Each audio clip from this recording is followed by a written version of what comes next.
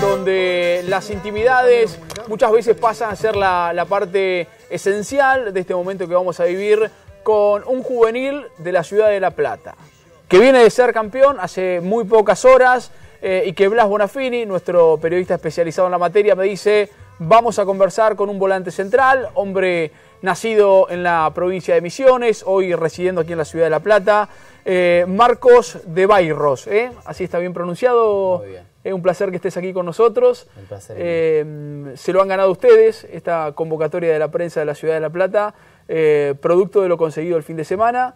Eh, Blas, eh, volante central, Defensor, defensor central. defensor central, Sí. eh, categoría 98, 98, con la 2 en la espalda. con la número 2 en la espalda. Eh, En, en inferiores eh, van del 1 al 11. Claro. No, no se puede utilizar numeración estrambólica, esta que, que muchas veces vemos en, En primera. en primera división. Bueno, contame un poquito eh, cuándo llegaste a gimnasia eh, y cómo es tu relación con, con el fútbol de, de la ciudad de La Plata, Marcos. Eh, llegué a gimnasia en prenovena, justo a fines. Eh, llegaba de. Vengo de un club de barrio, Capital Chica, de Los Hornos. Y bueno, yo buscaba obviamente seguir con el relacionado al fútbol, porque el fútbol amateur mucha bola no se le da para esa edad. Y bueno, me tocó la prueba, éramos 25 chicos y era en sí como eliminatoria. Y hasta que fui quedando y bueno, desde prenovena estoy acá. Ese, ese tema eh, es el que más me interesa, eh, porque estas pruebas, eh, quien jugó al fútbol alguna vez eh, pasó por alguna instancia donde a veces son 100, otras veces 200. Eh, voy a volver a esto, Marcos, ¿sí? a, a Sí. esta situación de cómo fue tu llegada a- al fútbol profesional, entre comillas. Eh, pero la convocatoria tiene que ver por haberlo conseguido eh, en esta parte del semestre que pasamos a, a contarles a, Sí, el último sábado, Gimnasia se consagró en quinta división contra Tigre en la final jugada en el Presidente Juniors, allí en el Bajo Flores, triunfo del Lobo 2 a 1. Marcos fue parte del once titular del equipo de San Irato. Una clásica final, Marcos, no sé cómo lo viste vos, pero desde principio a fin, una final donde no se dejó nada en el camino. Nada, sabíamos que no nos teníamos que guardar nada. Era un partido especial, ya que es la final y bueno, era la final. Y bueno, eh, había muchos sueños cruzados entre cada uno. Eh, era terminar con, con el sueño y la, era nuestra meta, salir campeón, porque sabíamos que si uno pierde se te cae el año abajo. Es como uno piensa. Y sí, desde el primer minuto, ya desde el, el lunes, desde, desde el sábado pasado ya era una final para nosotros, ya era pensar en el partido y estar atento a todo. Ahora, el sábado me imagino que sobraba motivación para jugar, ¿no? No, había que, no hubo que hablar nada en el vestuario, ya sobraba motivos para, para jugar la final. Ya era mirarnos a la cara y ya saber lo que había que hacer. Eh, en la semana se laburó todo el tiempo, eh, desde que llegamos al vestuario ya era la charla que, que se armaba, era el partido. Eh, ¿Cómo venís? ¿Cómo te sentís? Eh, che, hay que salir campeón, muchachos, hay que, hay que terminar el año bien. Vos venís de una provincia, estás en la pensión, viniste acá para, para, para hacer las cosas bien. Entonces había motivación de sobra, de sobra, y se sintió mucho en la cancha. Era ver a compañeros, bueno, yo me largué a llorar antes de jugar el partido, sentí una emoción terrible. ¿Cuándo? ¿En la entrada en calor, en la formación, en el Cuando saludo? el capitán Motes, Gonzalo Motes, eh, estaba dando la charla de arenga y sentía un cosquilleo por todo el cuerpo, verle la cara a cada compañero transpirando y decir, muchachos, eh, somos una familia, vivimos del lunes a sábado juntos, y era salir a la cancha y se te cruzaba las palabras de tu mamá, los mensajes que te llegaban ya en el viaje, se te pasaba por, por la cabeza el sacrificio que uno hace para, para entrenar, para jugar. Se te pasaba todo y bueno, llega la emoción. Salir a ¿Sabes la que eh, esto es televisión? eh, me, me- me está llegando lo, lo que estás contando, porque eh, esto que vos contás eh, no, no es un partido de fútbol, no es una final, es un momento donde se acumulan todas las sensaciones. Digo, eh, el, muchacho viene de, de la provincia de Misiones, casi que se está jugando su vida, su futuro, porque ustedes dejan casi todo. Hay quienes pueden estudiar, hay quienes pueden tener un- otra salida pensando en un futuro, si el fútbol no, no se los permite. Eh, en un rato se, se junta todo, eh, que, que se da con esta charla del compañero, del capitán. Es que, bueno, para, para destacar, Motes, el capitán, es de Mendoza, llegó este año. Eh, yo soy de Misiones, pero vivo desde los cuatro años acá en La Plata. Pero me ponía la piel de mi compañero, eh, porque se siente, yo lo pasé de chico y el sacrificio yo de tomarme un micro, de cada vez que tenía que estudiar una carrera, porque estudié profesorado de educación física y se me complicó el tema del fútbol, el entrenamiento, pero ahí, bueno, desde ya Motes estuve estudiando para ser técnico eh, para cancha juvenil, eh, infantil, Sí. perdón, y ya tiene el título.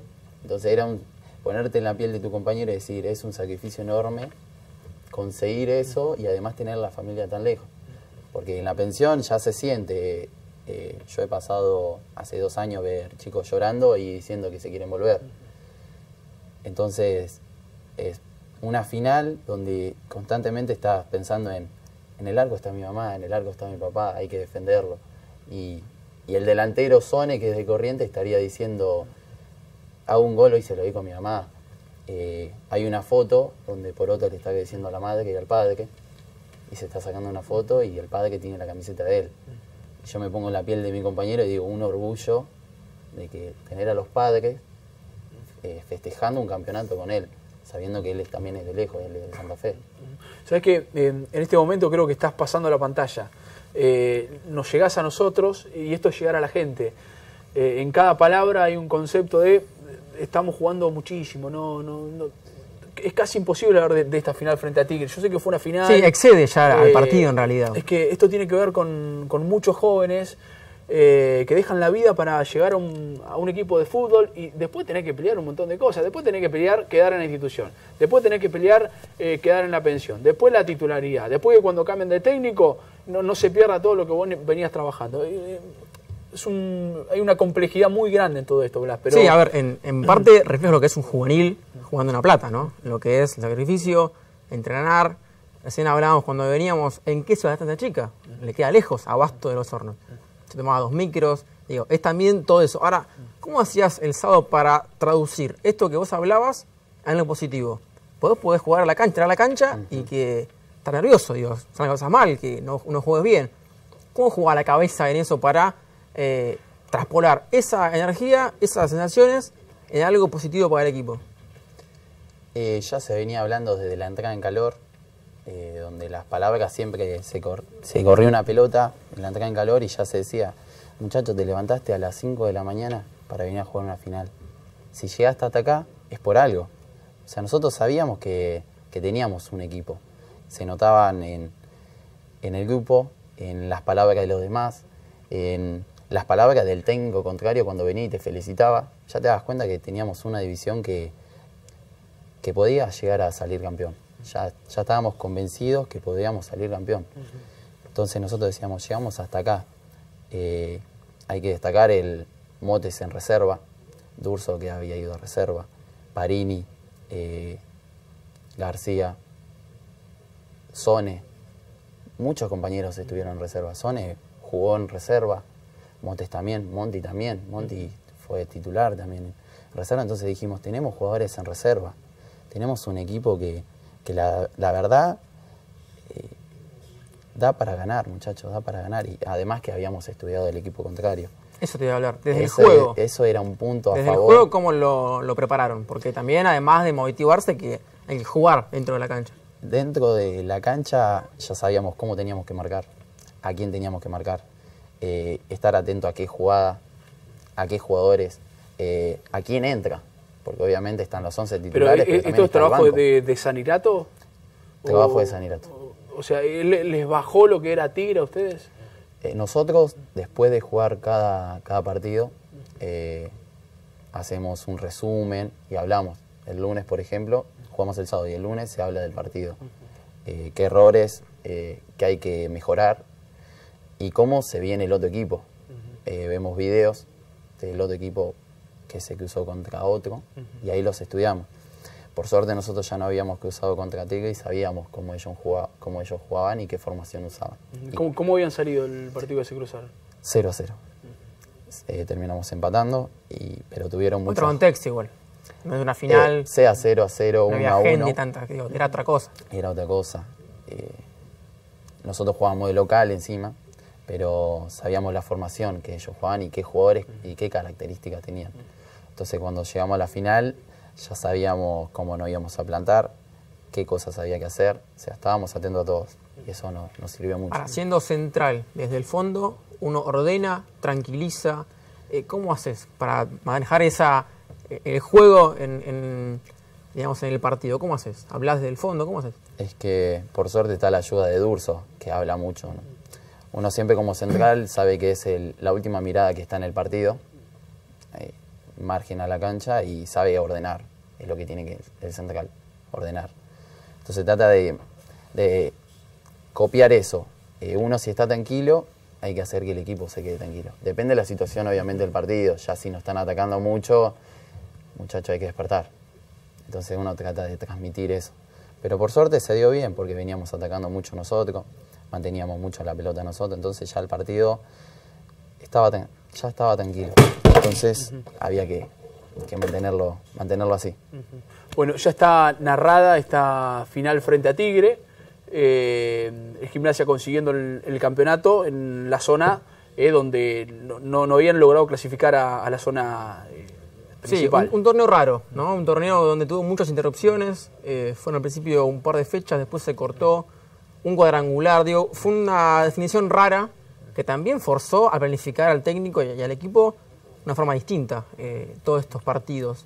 Eh, digo, ¿cómo, ¿cómo fue el armado desde el principio del año, que habían arrancado mal, que no, no daban resultados, no ganaban tanto? Después hubo un cambio. ¿Cuál fue el cambio? El cambio fue ya grupal. Eh, había que pegar un clic porque decíamos, muchachos, somos quinta división, el año que viene se reduce, se reduce el partido. Eh, el equipo se hace cada vez más corto, como uno lo dice, el embudo. Sí. Entonces había que dar, un, dar vuelta a la página y arrancar desde cero. Eh, y al equipo llevarlo a lo más alto. De ser el equipo que menos puntos sacó a salir campeón. Entonces ya era un proyecto que estábamos armando. Eh, el mejorar individual, grupal y, y bueno, por suerte se logró. Bueno, Marcos, eh, ese logro nos permite también muchas veces eh, tomarnos para esta invitación. Eh, me queda pendiente la charla de cómo llegás a, a la institución, que es la parte para mí más interesante. Ya vamos a hacer, eh, llegando a fin de año, un reconocimiento también a esta tarea que vienen haciendo los juveniles. Ha sido un placer eh, tenerte aquí un rato con nosotros. Placer es mío. Muchas gracias. Bueno, la quinta, ¿eh? La quinta división. campeona de, de un torneo muy particular, del cual ya hemos hablado muchísimo. Eh, han pasado por aquí los profesionales de la materia juveniles en gimnasia un rato eh, para que ustedes sigan conociendo las historias de vidas de jugadores que seguramente en muy poco tiempo, ya lo vienen haciendo en reserva, estén en el plano profesional. Nos vamos a una pausa, ya se viene Ramiro Martínez, ya se viene la información de estudiantes de La Plata.